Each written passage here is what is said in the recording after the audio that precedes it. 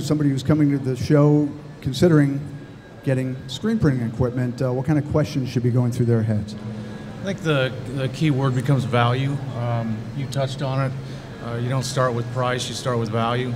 Uh, on the screen printing side, um, we do a lot of uh, uh, advising, uh, either for pay or not, but in, in many regards, there's kind of a, a line between the hobbyist and the, the business owner, and there's products for, for both. And figuring out where that line is and what the value proposition uh, works for you uh, as, a, as a business owner, whether it's on the hobby side or truly on the, uh, the business side, I, th- I think is real important to understand the value.